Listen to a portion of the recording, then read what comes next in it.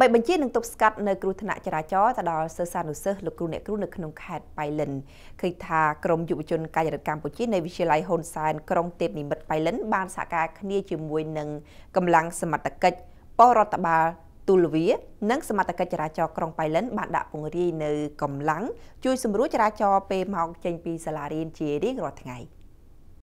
លោកតក់សំអល់នាយករងវិទ្យាល័យហ៊ុនសែនក្រុងទេពនិមិត្តបៃលិនបានឲ្យដឹងថា ក្រមយុវជនកាយរដ្ឋកម្ពុជានៃវិទ្យាល័យហ៊ុនសែនក្រុងទេពនិមិត្តបៃលិនសហការជាមួយនឹងកម្លាំងសមត្ថកិច្ចប៉ុស្តិ៍រដ្ឋបាលទូលវានិងសមត្ថកិច្ចចរាចរណ៍ក្រុងបៃលិនតែងតែធ្វើសកម្មភាពជួយសម្រួលចរាចរណ៍របស់សិស្សពេលចេញពីសាលារៀនហើយសកម្មភាពទាំងអស់នេះក៏ដើម្បីបញ្ជៀសនិងទប់ស្កាត់គ្រោះថ្នាក់ចរាចរណ៍ដែលកើតមានឡើងជាយថាហេតុផងដែរជាមួយគ្នានោះលោកនាយករង ក៏បានសំណូមពរទៅដល់មេដាបៃតាដែលមកទទួលកូនកូនទៅផ្ទះនិងសិស្សានុសិស្សសូមបើកបរដោយមានការប្រុងប្រយ័ត្នការយោគយល់គ្នាផងដែរលោកវរៈស្នេហ៍ឯកយ៉ែមសរិទ្ធអធិការនគរបាលក្រុងប៉ៃលិន បានឲ្យដឹងថាតាមផែនការរបស់ខេត្តជារៀងរាល់ថ្ងៃសមត្ថកិច្ចនគរបាលចរាចរណ៍និងសមត្ថកិច្ចមូលដ្ឋាននៅតាមស្រុកក្រុងដែលមានសាលារៀនវិទ្យាល័យនិងអនុវិទ្យាល័យនៅតាមបណ្ដោយផ្លូវជាតិលេខ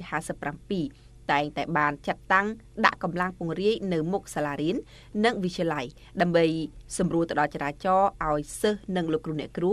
ដែលបានធ្វើដំណើរចេញចូលសាលារៀនក្នុងគោលបំណងបញ្ជៀសនៅគ្រោះថ្នាក់ចរាចរណ៍ជាមួយគ្នានោះដែរលោកសារិទ្ធក៏បានស្នើសុំដល់អ្នកបើកបររថយន្តគ្រប់ប្រភេទចូលរួមគ្រប់ច្បាប់ចរាចរណ៍និងបន្ថយល្បឿនពេលឃើញសិស្សានុសិស្សធ្វើដំណើរឆ្លងកាត់ផ្លូវផងដែរ